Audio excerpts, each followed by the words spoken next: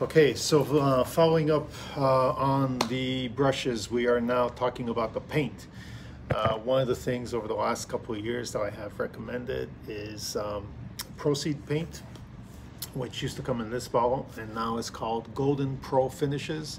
This is a um, company owned by Golden Paints, the same ones that you will find at your local art shop, except these paints are designed for um, interior paintwork, uh, mostly full finishers, okay? Um, the a small quantity goes a long way with this paint and uh, it's in liquid form and they can be applied with other binders and mediums um, that you may want to choose, just gel mediums or impastos uh, provided again from Golden or um, on the list of supplies you'll see Guerra paints or Kremer paints, uh, Kremer pigments from New York. Um, they also are very highly, high professional, uh, serious um, art shop for the uh, serious-minded artists. So if you're a professional, I would highly recommend you go with those. But Golden Paints really puts out an exceptional paint. So I would start off with that. The difference about these paints is that the price has gone up quite a bit over the last couple of years. I'm not quite sure why.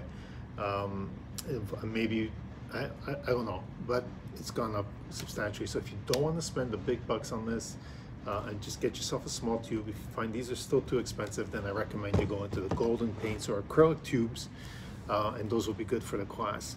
Uh, another paint that I've discovered recently is the um, Lukas Cryl Studio. It comes in two formats, 250 mil and 125 mil. Good coverage, uh, a lot of pigment in these tubes, and um, they really go very far. And again, all the acrylics I speak about over here, you can blend them with other mediums so you can extend the longevity of the paint and maybe get it even thinner or build a viscosity that's thicker. Um, and some of that is explained on the um, materials list that has been given to you.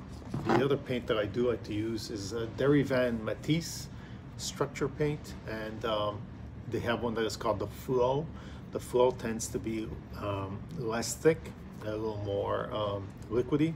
What's nice about this is it's very, very thick. It's probably one of the thickest paints that I found in acrylic.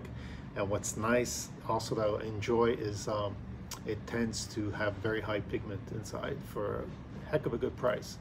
Uh, I think uh, something like uh, this purple over here, Series 3, uh, runs like about 9 or $10 for about 150 mLs. That's quite a bit.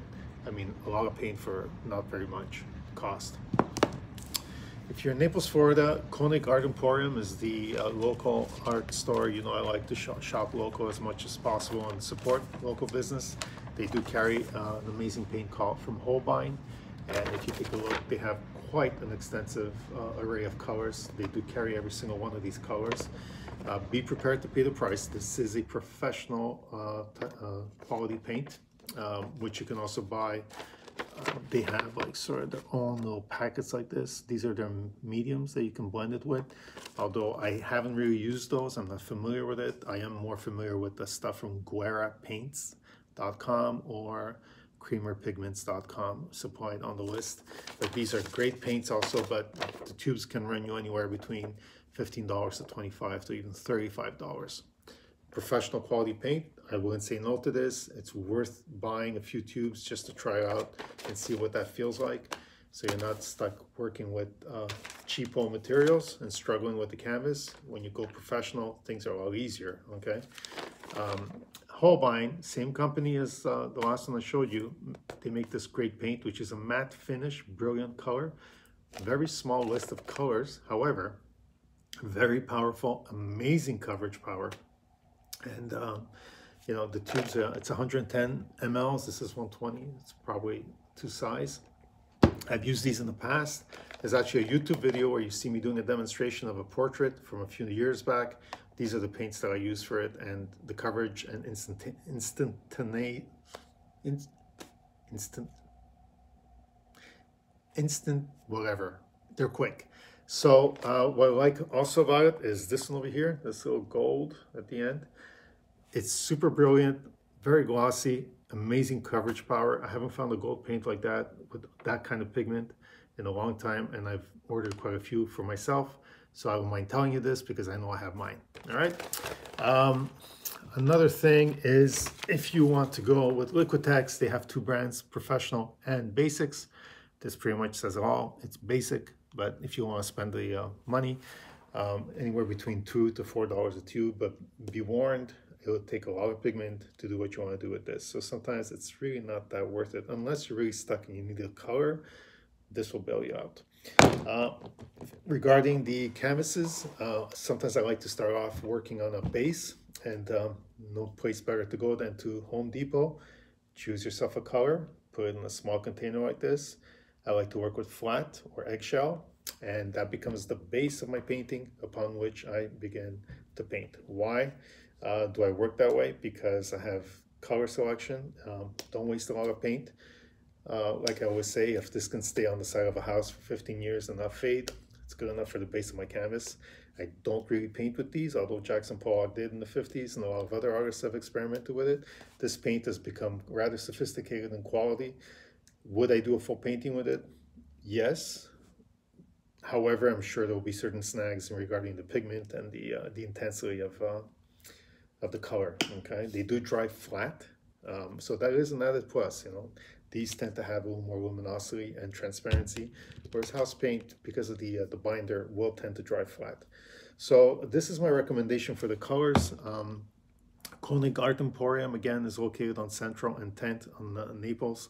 Uh, he does have the array of paints. There's also a lesser student quality.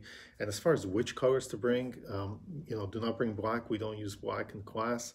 Uh, dark colors are great, dark green, dark red, dark blue, and medium range, and uh, plenty of uh, titanium white, or basically whatever color inspires you, okay? So um, picture it in your head, and you, you know, you get really like excited about a certain color, bring it in, because um, that will bring you into areas of creativity. Uh, this is not a color class, but we do apply a lot of paint over and over and over again.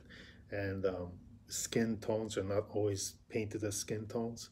Sometimes I'll ask you to just paint a blue face or a green face and so on. So you kind of have to not think of a typical color spectrum when you take this class or any of the three classes, okay? So I hope that covers the colors for you. And there's more information on the um, materials list that's been provided to you uh, in regards to some of those medium binders that you may want to use. Um, if you have more experience in acrylic paint, you'll know what I'm talking about. You might want to go further with that. Otherwise, if you don't, just stick to what I just said and you will be good to go. All right, see you later.